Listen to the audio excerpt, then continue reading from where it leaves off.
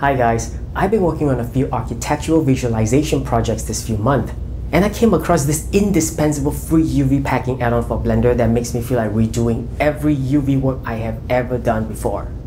Of course, I'm not really gonna do that, but it just makes every previous UV work I've done before knowing the existence of this add-on looks really inefficient.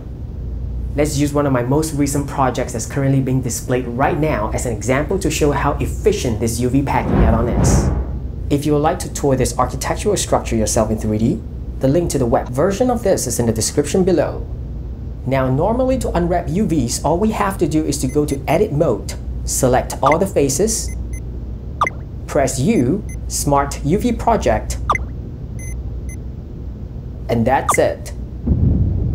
Look at how UV space wasting the default packing algorithm is huge gasping holes that could have been used to contain smaller UV parts, but instead it's just left empty, wasting spaces that could have been used to contain more texture details and in turn, allowing the whole UV set to be scaled larger to house yet even more texture details. And to think that for the longest time, we have accepted this terrible behavior as a default outcome unless we want to manually lay out the UVs ourselves. But fortunately, this is over.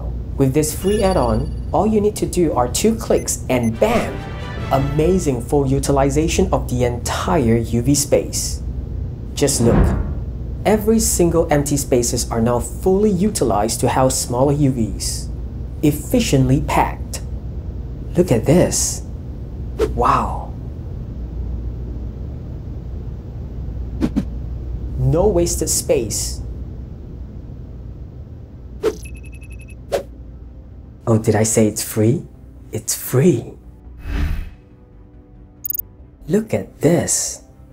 Wow. The link to this amazing add-on is in the description below. This is Bracer Jack and I will see you next week.